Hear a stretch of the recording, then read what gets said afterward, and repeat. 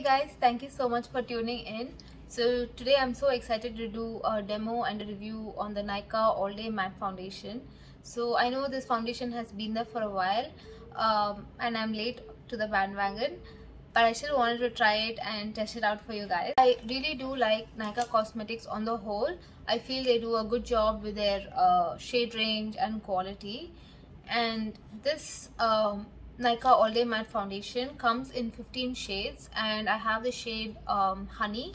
It comes with a pump and it the bottle is pretty sturdy glass bottle and it retails for 5.99 and you get 30 ml of the product. It claims to give a velvet matte finish and it's supposed to look like second skin and it's also supposed to be lightweight, non-cakey and long wearing for up to 12 hours. So pretty tall claims here. So let's see. So I have already moisturized my face. So I'm going to apply the Inside Pore Minimizer Primer today. So I've taken so much. Shaking it up very nicely. And I've taken uh, one and a half pumps. And in my beauty blender, I'm just applying it.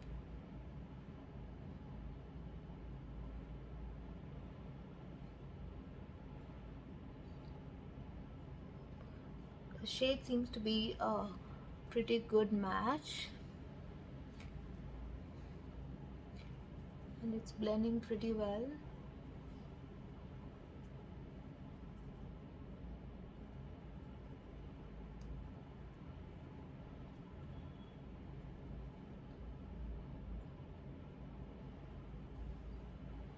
Wow okay. I'm actually liking the way it's blending and the way uh, it looks so natural.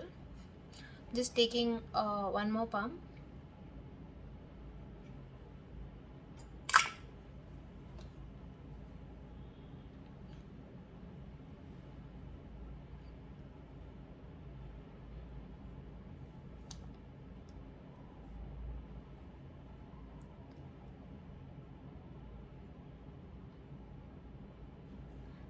but I don't think it gives a matte finish. I feel it gives a natural finish. It gives a medium coverage.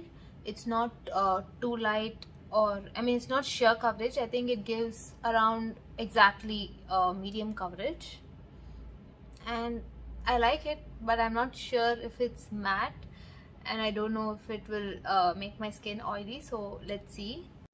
For concealer I'm using my um, Maybelline Age Rewind Concealer in the shade Caramel.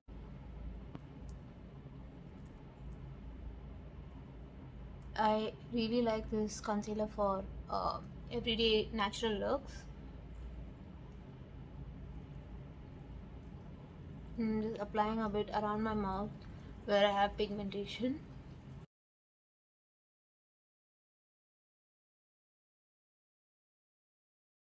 Now I'm going to set the foundation with the Maybelline Fit Me Concealer in the shade Medium Deep.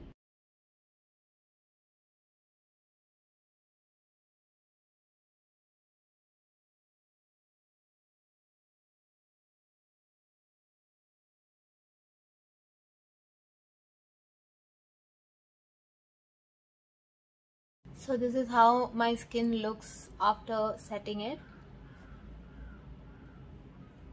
Just finish the rest of my makeup and be right back. So i'm back with the rest of my makeup and this is how it's looking. And i have to say that all the makeup i wore it they sat very well on this foundation. And wow like i never thought i like it so much. I think i like it even more than the Nykaa skin shield foundation which was one of my favorites I didn't set my face uh, with a setting spray because I want to see how long it lasts. And then I'll update it uh, I'll do like a pinned comment so you can see how long it lasted on my face. Overall I just want to say that I'm really impressed with this foundation like as you can see. And I feel like the way it blended and the shade match everything was perfect. And the finish is also very natural. So it doesn't make my oily skin oily so it's like I don't think it will make a person who has dry skin I mean, I think it will work for all skin types. That's what I'm trying to say. The price point is also pretty decent. Um, so I would say like if you're looking for a foundation which is which gives a natural finish and uh, which doesn't make your skin oily. Like maybe I would suggest this foundation for someone who has uh, more of a normal skin normal to oily skin. Like I think that's a safe bet because I've never had dry skin so I can't speak for them. Um, yeah so that's my recommendation. Do let me know in the comments below if you like this foundation or whether it's your type or whether you're going to pick it up. Give this video a thumbs up if you enjoyed the video. And I really love talking and sharing about makeup with you guys because I feel it's a great outlet for me. So please do subscribe to my channel if you would enjoy such kind of um, like videos or like sharing about makeup or reviews or anything of anything regarding makeup and beauty. Also do follow me on instagram because i do regular updates and little tidbits of my everyday life and see you guys soon in my next video. Until then take care. Bye